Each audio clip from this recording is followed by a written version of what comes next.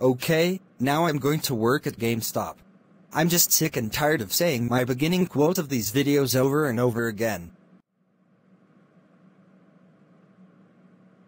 Arg. Why are you my first customer, Caillou? Chill out, I just need to use the bathroom. Well, there isn't a bathroom here, now go back home. Not your annoying ass again, Dashi. What is it now? I just need to buy this game for my new video.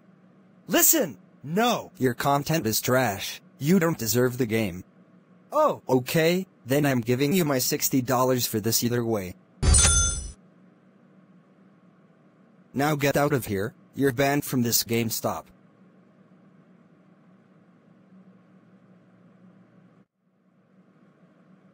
You already know what I'm going to say, right? Classic Caillou. Yes, I do. I'm fired from this GameStop, and that I should go away.